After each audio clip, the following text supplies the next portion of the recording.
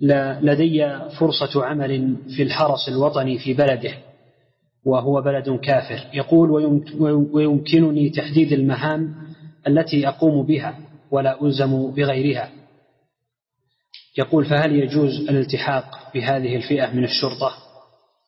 نعم إذا كنت محتاجا للعمل عندهم ولا يخل هذا في أمر من أمور دينك تستطيع القيام بدينك وصلاتك وأمور دينك فلا بأس بالعمل طلبا للرزق.